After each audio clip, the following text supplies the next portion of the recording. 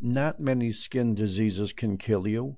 We already said that a malignant melanoma can kill you easily. Here's another skin disease that can kill you. It's called epidermolysis bullosa, B U L L O U S A. It's a uh, rare genetic skin disease in which bullae, B U L L A E, or vesicles, similar to what we saw with herpes, form within the epidermis. But if you remember, in herpes, the separation or the vesicle formation was between the dermis here and epidermis here. And although in this skin disease the bullae can form at various levels, in most cases the dermal epidermal junction stays intact.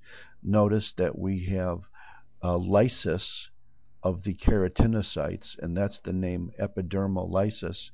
And uh, in the process of doing that, then becoming lysed, then intraepidermal bullae, B U L L A E, form.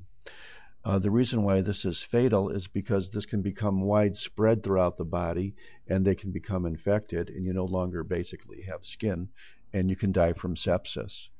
Uh, this is epidermolysis bullosa. Uh, there aren't too many common skin disease that routinely or kill you, but this is one of them. This is a very, very serious disease if severe enough.